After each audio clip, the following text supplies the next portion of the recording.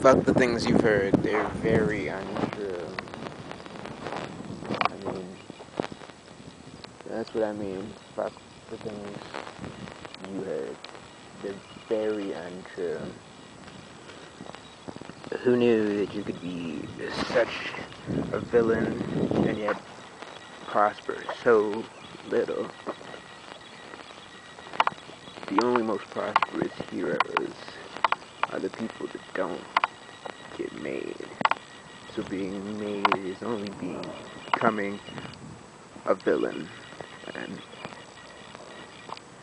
not produced. Hmm. Never thought of it.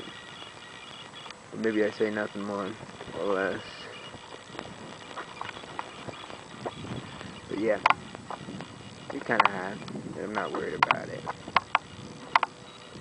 Pretty to see though, huh?